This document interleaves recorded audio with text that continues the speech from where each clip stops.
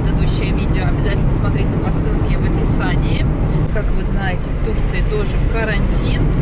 И разрешено, э, рекомендовано, точнее, выходить только по необходимости в магазин, в аптеку, не собираться а, большой компанией и э, разрешено гулять на пустынных пляжах, дышать воздухом и так далее. Поэтому мы с вами путешествуем на машине и снимаем из машины.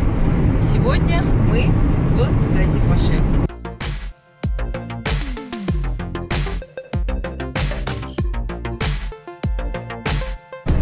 Сейчас мы едем по старой дороге. В Газипашу сейчас ведут две дороги. Одна старая, другая новая. Новое шоссе. По нему вы ездите в аэропорт и из аэропорта. А эта дорога очень живописная.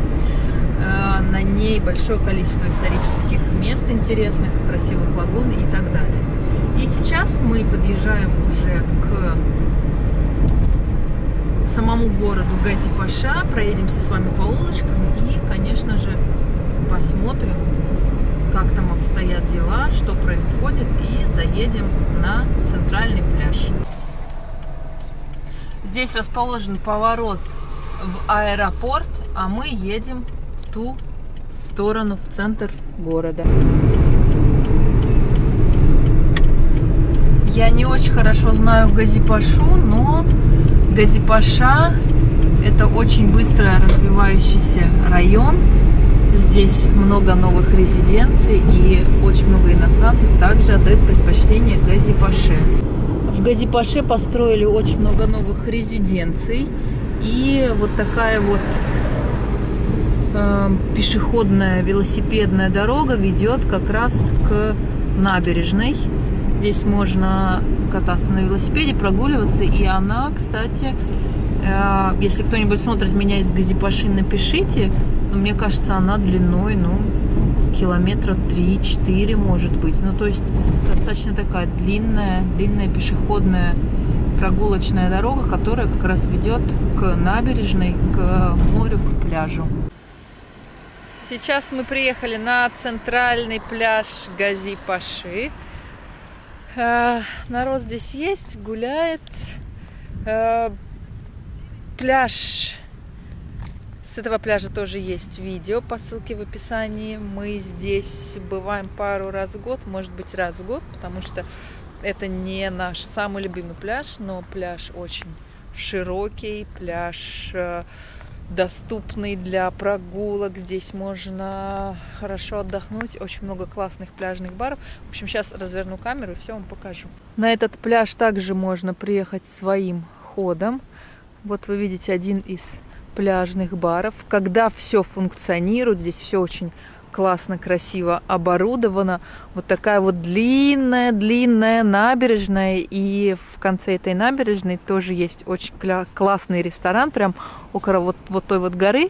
И около ресторана есть небольшая пещера. В общем, такое красивое место, широкий пляж – Здесь, кстати, бывают волны, несмотря на то, что сейчас, кажется, волн нет, волны здесь бывают э, и такие приличные. Ну, в общем, надо выбирать время и э, погоду. Сейчас с вами спустимся к самому морю. Вот один из пляжных баров, но он, к сожалению, сейчас закрыт, как и все. Показываю вам море. Видите, люди есть, разбросаны по всему пляжу. Очень классный деревянный настил. Я вообще люблю, когда вот такое вот все натуральное. Никогда заливают все бетоном, а именно когда используют такие вот натуральные материалы. Это очень, очень классно. Пляж здесь большой, как вы видите, широкий он полу такой песчаный, полу мелкая галька. Вот такая вот здесь особенность. Сейчас я иду по песку. Вот такой вот здесь песочек. А дальше там уже мелкая галька. Здесь есть входы и каменистые, и нормальные песчаные входы, поэтому нужно просто знать места, выбирать. Но в Газипаше пляж, он всегда вот такой вот песчаный. Это одна из особенностей Газипаши, потому что в самом конце, вот там вот вдалеке, вдалеке, за вот этой вот горой, есть пляж Кору. И это просто уникальный пляж с натуральными бассейнами. Также по ссылке в описании вы увидите. Ну, это очень-очень красивое, красивое место. И, конечно, конечно же, купаться там тоже одно удовольствие. Ну, сейчас спустимся поближе к воде и в который раз насладимся с вами морем и солнцем. Как я уже говорила во всех своих предыдущих видео, разрешено выходить на улицу, разрешено гулять, но не скапливаться группами. И людям старше 65 лет запрещено выходить на улицу. Не волнуйтесь, все сервисы по доставке медикаментов, еды и так далее, все это организовано хорошо, поэтому никаких проблем с этим нет. А мы стараемся, конечно же, работаем дома, но стараемся выезжать на вот такие вот красивые пляжи. Ну и радовать вас, поднимать вам настроение своими видео. Если хотите увидеть прямые эфиры, вон у нас Айхан, он снимает прямые эфиры на нашу группу в Фейсбуке, там тоже все самое новое, все самое интересное, поэтому заходите, подписывайтесь. Ну а сейчас в который раз оставлю вас наедине с, со Средиземным морем. Наслаждайтесь и будьте здоровы!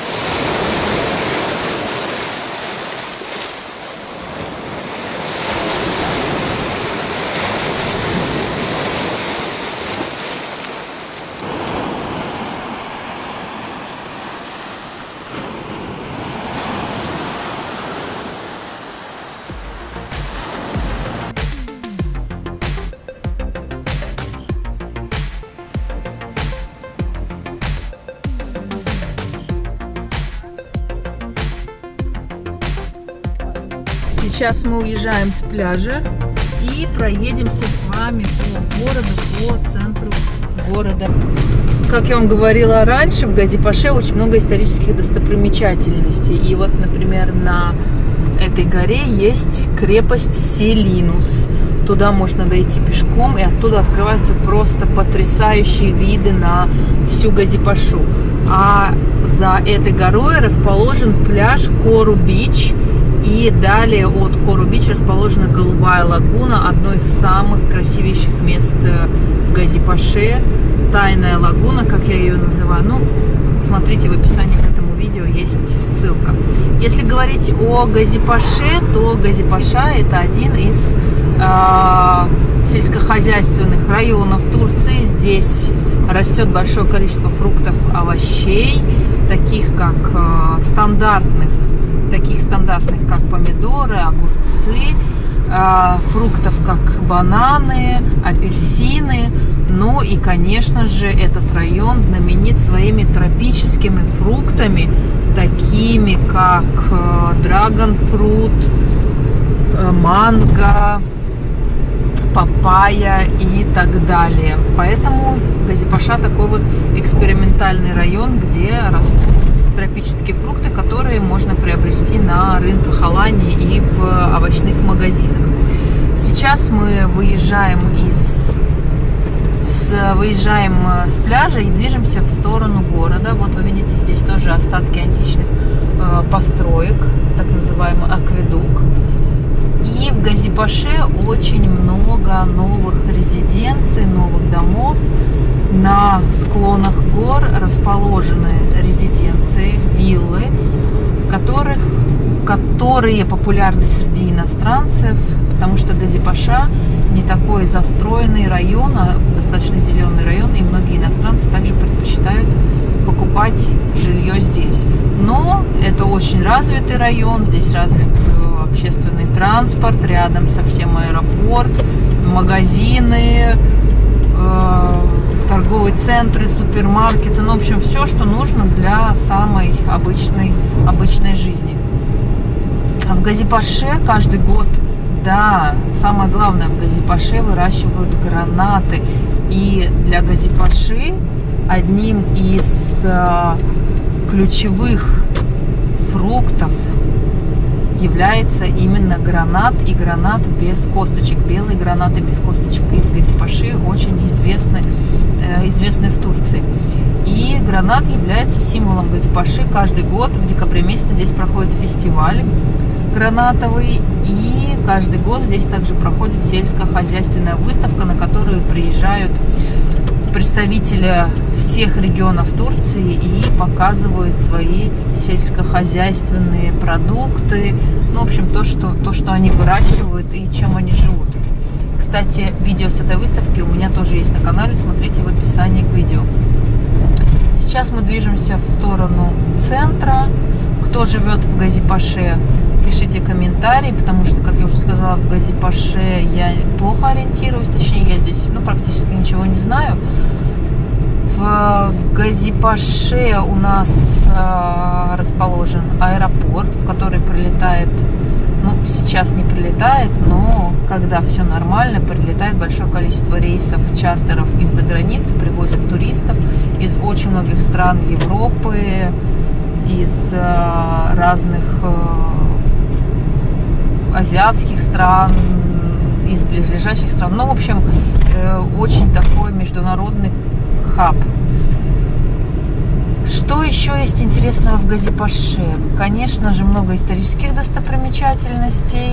Здесь есть пещера, в которой мы еще не были. Здесь есть античные города, которых мы еще тоже не были. Поэтому, когда вы приезжаете в Аланию, в Турцию, знайте, что в окрестностях Алании очень много всего интересного. А те, кто говорит, что в Алании и в Турции ничего нет, тут был один комментатор, который написал, что в Анталии нет ничего интересного, кроме моря и пляжа. В общем, человек, не знающий ничего о Турции, пишет такие голословные комментарии. Читать, честно говоря, их просто, ну, не то чтобы смешно, даже неприятно, потому что настолько стереотипное мышление и незнание ни Турции, ни региона, ну, просто поражает. Можно открыть Википедию, Google и просто поинтересоваться, что же находится рядом с тобой, а не просто думать, что Турция это только море, солнце и пляж. Многие до сих пор думают, что в Турции даже снега не бывает. А, но вы, мои дорогие зрители, вы прекрасно знаете, что в Турции есть и снег, и мороз, и море, и солнце. В общем, уникальная страна с э, великой историей и огромным количеством достопримечательностей. Сейчас мы едем в сторону центра. В центре расположено, конечно же, большое количество магазинов, лавочек, различных супермаркетов. В общем, посмотрим сейчас, как выглядит центр Газипаши. И здесь уже начинается центр Газипаши. Здесь расположен муниципалитет, ну и, конечно самые интересные места для жителей. Это необходимые и интересные места, кафе, рестораны, магазины, банки, государственные учреждения. Здесь расположена мэрия. Мы тоже мимо нее проедем. Но, как вы видите, к сожалению, сейчас все закрыто.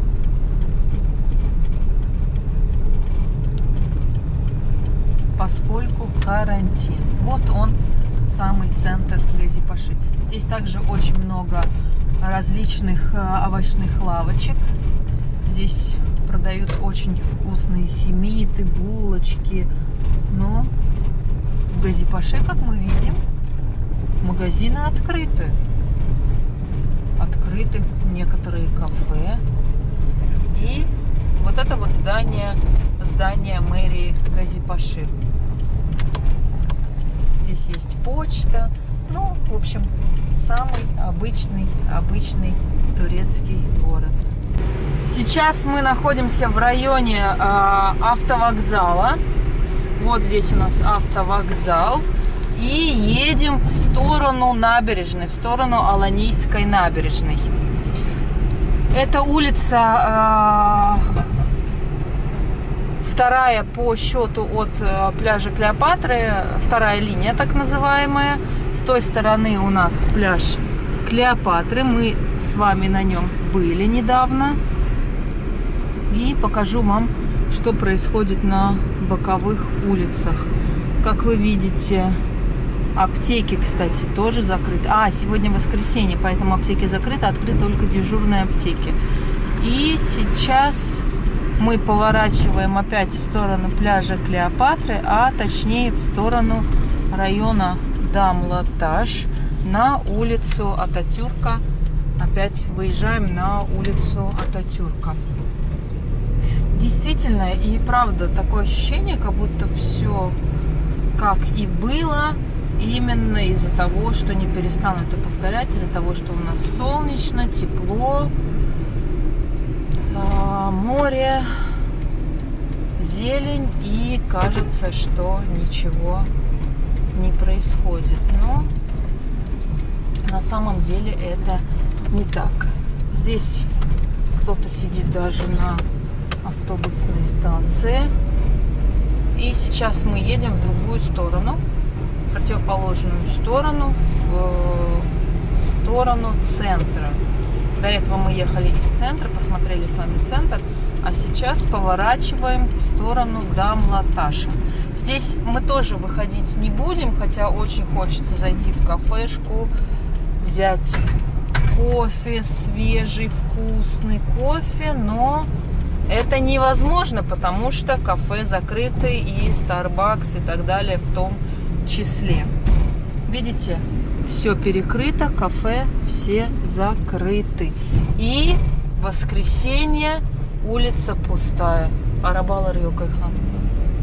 На этой улице в воскресенье, да и вообще во все дни невозможно найти место для парковки. А сейчас посмотрите, стоит одна машина и место для парковки, паркуйся, в общем, не хочу. Да, на этой улице разница разница очевидна. Никого нет, потому что...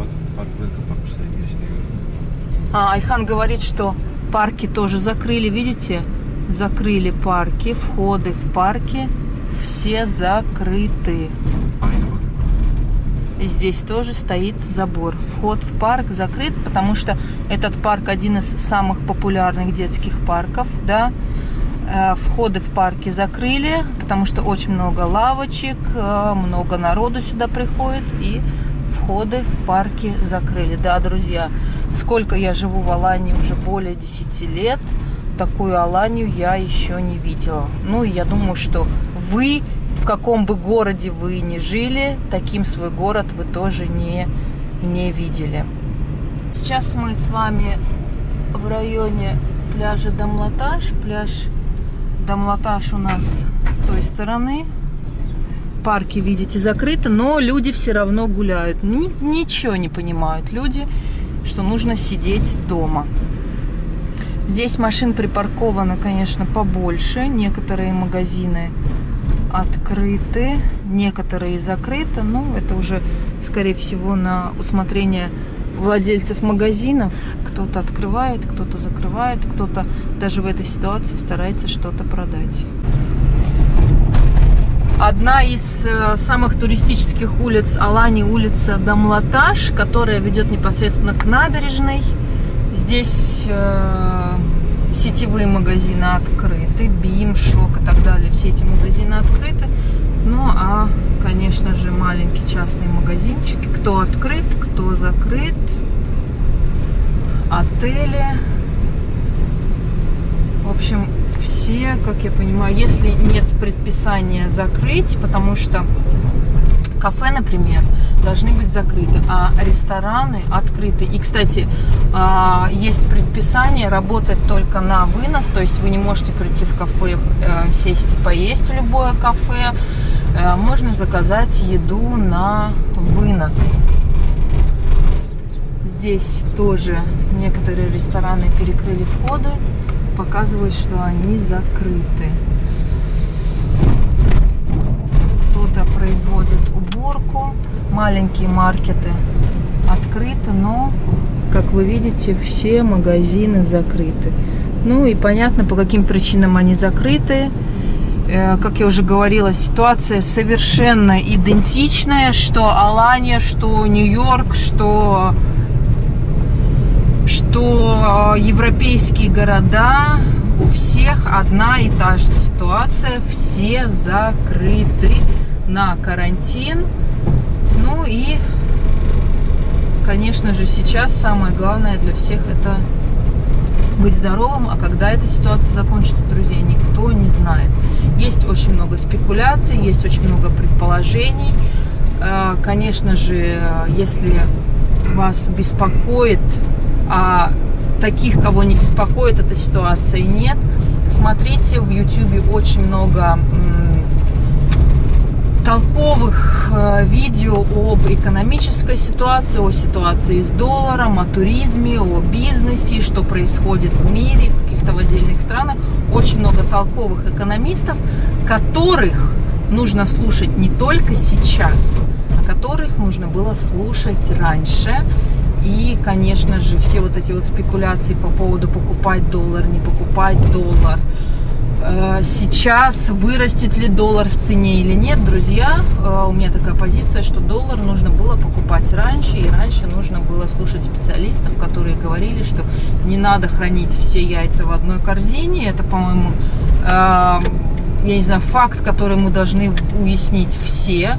20% денег хранить в своей национальной валюте, а 80% распределить 40 на 40 доллар и евро. Это нужно делать всегда, неважно, миллион долларов у вас или тысяча долларов. И как советуют многие толковые экономисты, неважно, миллион долларов, 200 тысяч, 5 тысяч, тысяча – друзья, храните именно вот в такой пропорции. Ну, это мое личное, скажем так, субъективное тоже мнение, но э, эта схема работает, она рабочая. Сейчас, конечно же, говорить о том, что денежку нужно откладывать, э, любую вашу прибыль, которая бы у вас не была, хотя бы 10% нужно откладывать и переводить, например, в валюту, это тоже прописные истины, которые нужно соблюдать. Сейчас об этом говорить, конечно же, тяжело, но экономьте ваши деньги сейчас, экономьте просто каждую копейку, капелюшечку, пол копеечки, все экономьте, не тратьте, не тратьте на какую-то ерунду. Сейчас мы уже на набережной, как вы видите. Здесь тоже у нас зелено красиво, никого нет. Все стандартно, как и во всем городе. Вот что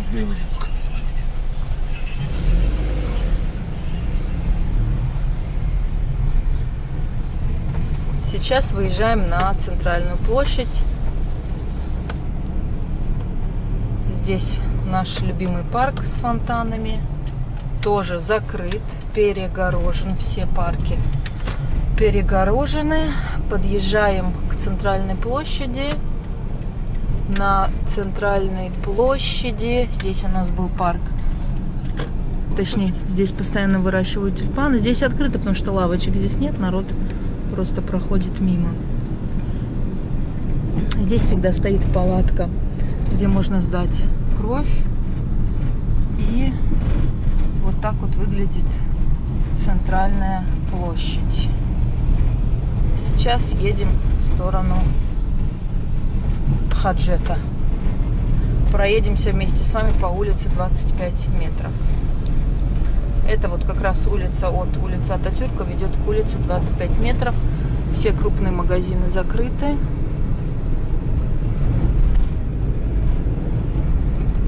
Открыты супермаркеты. Но, в принципе, народ сейчас куда ходит, то только в супермаркеты, в продуктовые какие-то лавочки. А все покупки все делают онлайн. Вот такое вот длинное видео у нас получилось. Мы проехали с вами по всем основным районам Алании. Вы, конечно же, поняли, э, что у нас здесь происходит, как и везде. Как и везде, ситуация одинаковая. Карантин, магазины, рестораны закрыты. Все сидят дома и все должны сидеть дома. Мы тоже сейчас едем домой и будем сидеть дома, работать дома, в общем, находиться